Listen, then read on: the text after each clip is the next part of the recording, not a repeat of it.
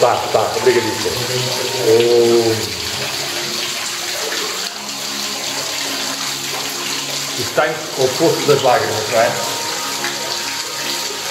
Uma qualidade de transparência da água e do estegmatites de forma verdadeiramente maravilhosa, purificadora das almas que contemplam estas maravilhas. Gruta da Moeda, próximo de Fátima, altamente recomendado como um ponto comunhal sagrada entre a terra e o céu, a água, o ar, o ser humano, o espírito da natureza e os anjos.